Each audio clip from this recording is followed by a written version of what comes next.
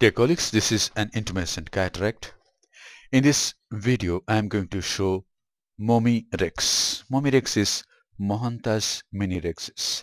Two stage rhexis in intumescent cataracts has been shown about three decades back by Dr. Howard Gimbel. And later on, Dr. Arup Chakrabarti has shown it very beautifully. But in those cases, high molecular weight viscoelastic substance like Healon 5 has been used to flatten the anterior capsule of the cataract. But in my technique, you don't use any high molecular weight viscoelastic substance like sodium hyaluronate. In my technique, you use only HPMC that is hydroxypropyl methyl cellulose. Yes, only HPMC. So let us see how it is done. By this time the capsule has been stained with trypan blue dye. HPMC has been injected into the antechamber. Now here goes the bent 26 gauge needle. Incise the capsule and raise this curved flap. Hold this flap with a Utrata forceps and do a small rhexis at the anterior pole of the cataract.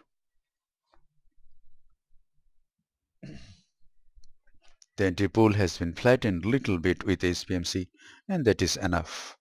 You don't need any sodium hyaluronate. Now I'm going to decrease ILP that is intralenticular pressure by squeezing out some cortical matter through this small opening.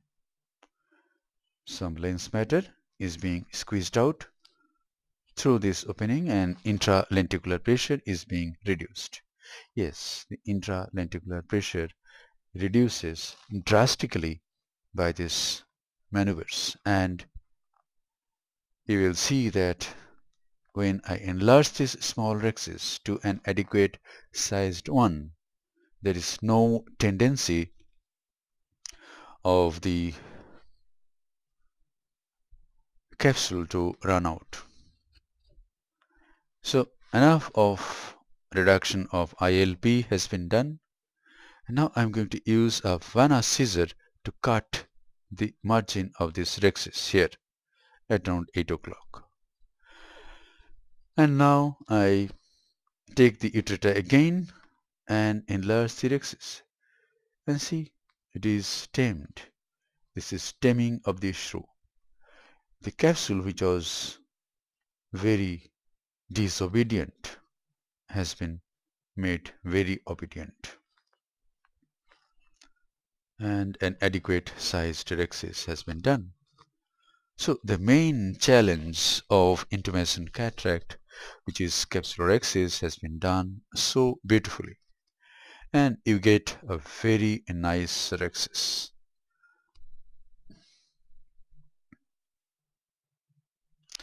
Now here it is.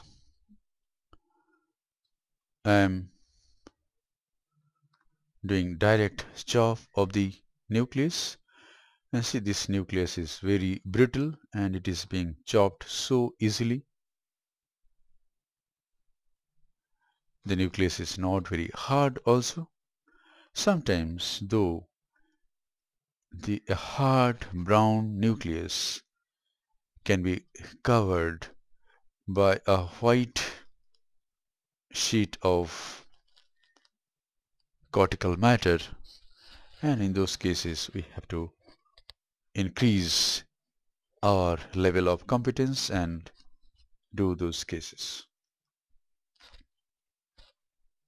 But most of the intumescent cataracts are usually of this kind. Brittle nucleus, nucleus cracks very easily, there is no stubborn posterior plate. So the main challenge is not nucleus management. The main challenge of intumescent cataract is doing capsulorhexis. Now cortical cleanup is being done.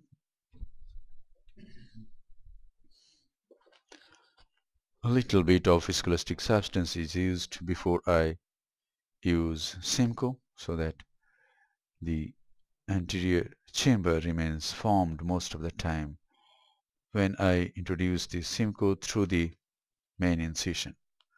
Now when I go through the side ports the antechamber is very much formed. You can use a coaxial IA or bimanual IA at this stitch. Now in this case I'm going to use a hydrophobic aspheric intraocular lens single piece lens from uh, IOC it is called Acryol no financial interest just to inform you what is the lens?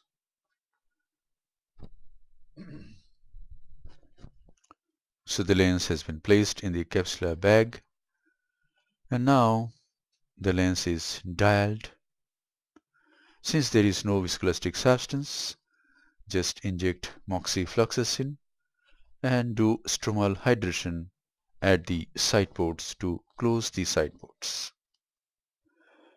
Yes so the case is done so if we don't use visco to